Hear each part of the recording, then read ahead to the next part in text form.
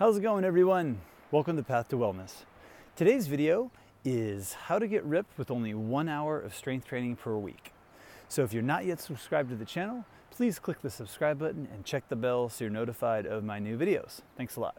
Yes, I was out on another morning walk as usual, and I figured I'd make a video because I was thinking about this. Um, and it's the it's the fact that I'm only strength training for about either 10 minutes a day, six days a week, or sometimes I do 20 minutes a day every other day. So really, that's all it takes to get you know a nice lean ripped body. Now, I know that I'm not you know I'm not real big and, and huge and muscular. Um, you know I don't lift big, huge, super heavy weights. That's really not my goal. So my ideal look is more of a lean, fit, shredded, ripped look, which um, you know I'm very happy with with the way I look. And um, you know really there's just a few simple things you need to do. But as far as strength training, you really only need to do it for maybe 10 minutes a day or 20 minutes every other day. Um, you, there's no need to spend hours in the gym and you know waste a whole bunch of time. I'd rather be outside in nature anyway. So I just thought I'd mention that yeah, my, my strength training routine is just um, right now I'm doing 20 minutes uh, three days a week. Sometimes I do 10 minutes, um, you know, every day, maybe six days a week. But um, right right now my routine is I'm doing just 20 minutes every other day, about, and then um, on the other the other day than that I do hot yoga. So as far as strength training goes, that's all it takes. Now, if you really want to, you know, if you need to lose weight and, and you know you want to get in shape and, and, stay in shape and all that, um, again, there's intermittent fasting. You got to include that, incorporate that. That's going to be the best way uh, also to lose fat down to one meal a day, um, which is what I recommend to everyone now. Especially if you have a lot of weight to lose, you're gonna have to eat one meal a day, keep it in a tight window, and keep the calories tight. So um, that's my recommendation. So here's one of the workouts I did uh, recently, and uh, hope you like it. Uh, we'll see you soon. Bye bye. All right, so I like to do movements that have multiple muscle groups. So I go about 90% of failure when I do a set and there's modifications for all these moves. So like this right here, are these are chin-ups with a crunch. Now if you can't do those, you can just do regular chin-ups. And if you can't do chin-ups, you can get a band, a like a pull-up band to stand on, and that helps um, helps uh, make it easier and support some of your weight. And I um, I like to do a pull, a push, then a leg, and then a core move. So you see most of my workouts kind of go in that order: pull, push, leg, and core.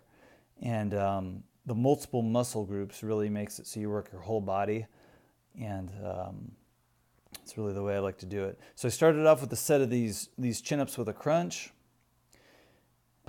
and then I rested about a minute and a half, and then I went to these plank push ups. So this is um, a more advanced version of a push up. You're really working your whole core, your chest, your arms just working all kinds of muscles on these uh, plank push-ups. This is one of my favorite moves. You just go down, you walk backwards like in a plank, you walk forward and you push up. So if you can't do these, just do regular push-ups.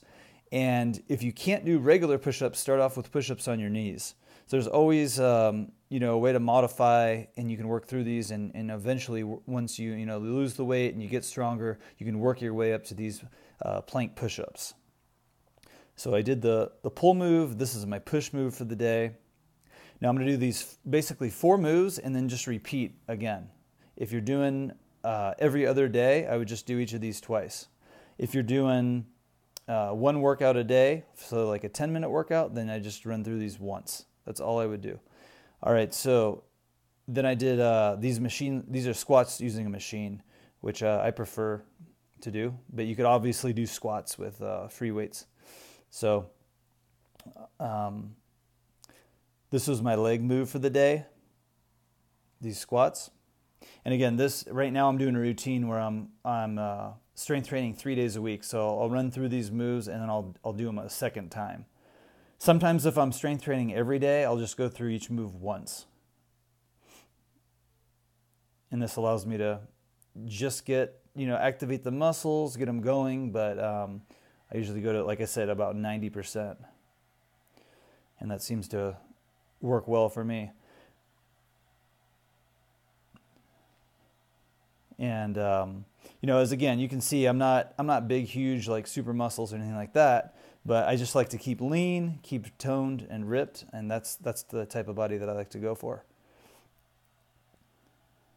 All right, so my last move of the of this workout were these windshield wipers. So this is a, little more of an advanced move. Um, there's probably going to be a lot of people that can't do these, but if you can, go for it.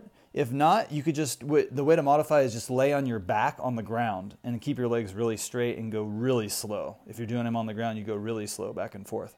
So that was the workout. I just repeated that. Um, so it was eight sets. Thanks for watching. Have a great day. Give a thumbs up if you like it, and we'll see you soon. Bye bye.